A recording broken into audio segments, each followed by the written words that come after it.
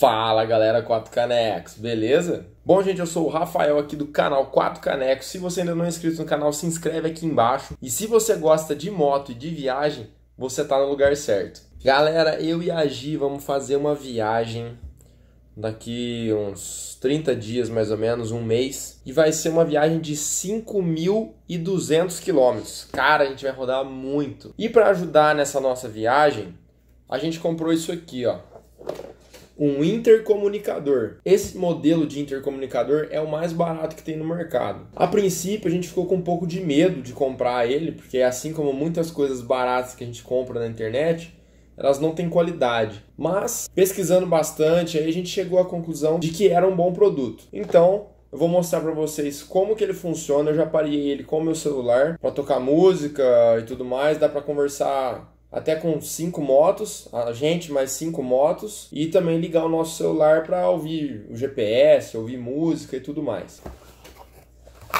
Aqui, ó, galera, vem um manualzinho e esse aqui é o intercomunicador. Aqui só tem um, porque o da Gi eu já fui lá para Varginha para a gente gravar ela pegando a moto nova dela que vocês vão ver amanhã no canal e eu vou mostrar para vocês como instalar no capacete e como que ele funciona. Puxa logo essa vinheta, meu irmão.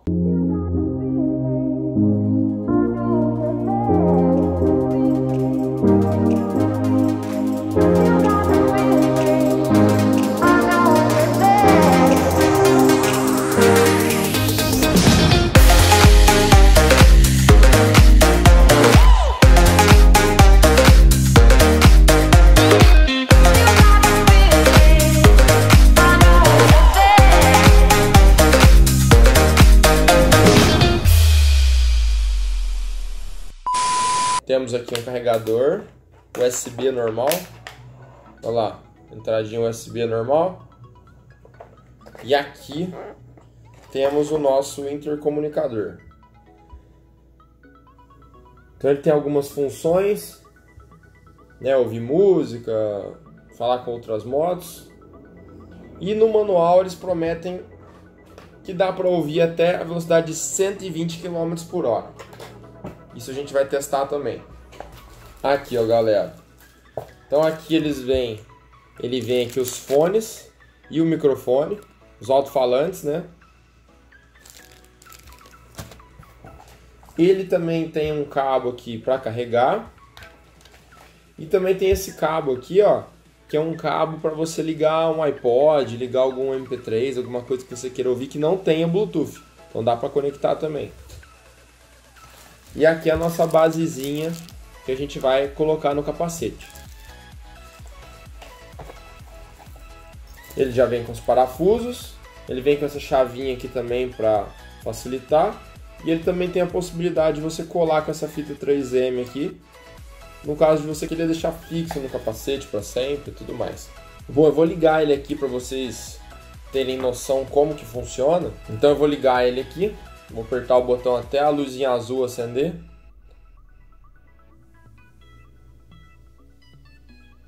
Beleza, agora ele já está ligado. Vou conectar aqui o cabo. Esse cabo vai ficar escondido dentro do capacete. E agora eu vou ligar uma música aqui pra gente ouvir como é que é. Galera, eu tô tendo que gravar aqui com a câmera do Instagram, porque o meu celular não grava e solta o áudio ao mesmo tempo. Então vocês vão conseguir ouvir a música aqui, ó.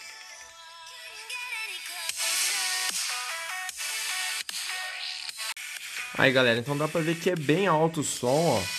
É bem mais alto do que um fone de ouvido convencional. Então com certeza vai dar pra ouvir legal durante a viagem, tanto música quanto comunicação mesmo. Bom galera, com tudo testado já aqui com o nosso alto-falante, nosso intercomunicador. E agora eu vou instalar ele no capacete. Eu escolhi aqui o capacete AGV. Então vou instalar no meu AGV e vamos ver como vai funcionar. Aqui, ó, galera, estamos aqui com o AGV. Esse capacete aqui é um AGV K3 SV. Então ele tem a viseirinha escura e tudo mais, vem com pinlock. Ele é muito confortável, silencioso. É um capacete muito leve, resistente. Ele é 4 estrelas no, no Sharp e é extremamente aerodinâmico. Esse capacete é muito bom, super confortável. E ainda mais eu que uso óculos, ele tem ali um lugar para colocar, encaixar a perninha do óculos que faz toda a diferença para quem usa óculos. E eu vou mostrar uma coisa interessante que ele tem já preparado para receber aí o intercomunicador. Aqui dentro dele, ó, a gente já pode olhar ele já vem ali, ó. Tá vendo aqui, ó? Ele já vem com o local certinho para colocar o nosso alto-falante. Inclusive ele já vem até com a parte do velcro aqui, ó, que é a parte molinha do velcro. E de cá a mesma coisa, ó. Ele já tem ali, ó. Então é só tirar o forro. Tirando esse forro interno aqui, a gente consegue passar todos os cabos aqui por baixo e deixa ele no jeito para poder usar.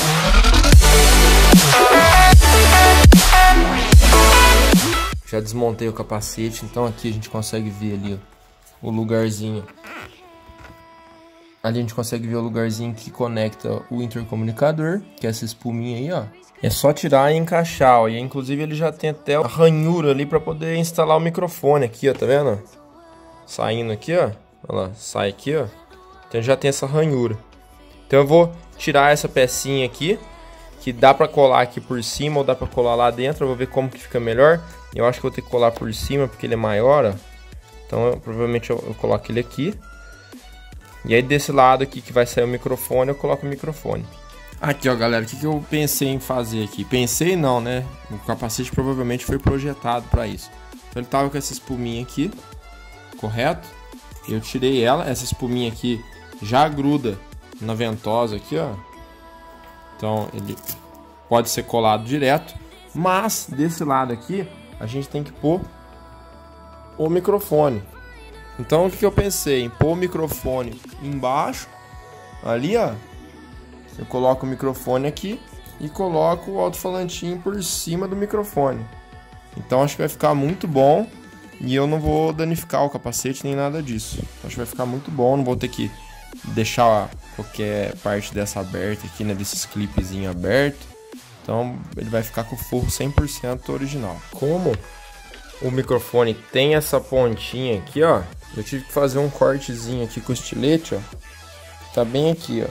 Então eu vou colocar o microfone aqui dentro e colocar aquele pininho dele saindo pra cá. Então eu fiz esse cortezinho com o estilete aqui, agora eu vou tirar aqui no alicate pra encaixar ele certinho aqui embaixo eu consegui colocar o alto-falante por cima do microfone. Olha isso, galera. Feito sob medida, ó. Entrou certinho ali, ó. Aí ele passa por aqui e fica ali, ó, na frente da boca, bem no meio. Nossa, ficou perfeito isso aqui, ó. Agora vamos ver, que meu medo é esse aqui, ó. Olha ele ficou um pouquinho mais alto, tá vendo? Essa parte aqui, ó. Vamos ver se, o que, que eu consigo fazer aqui para deixar niveladinho.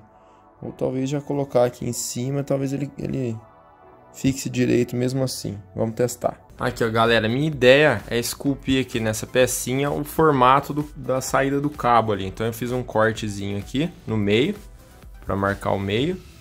E aí do lado eu tô esculpindo aqui, ó, um buraquinho que eu vou cortar essa parte do meio fora aqui.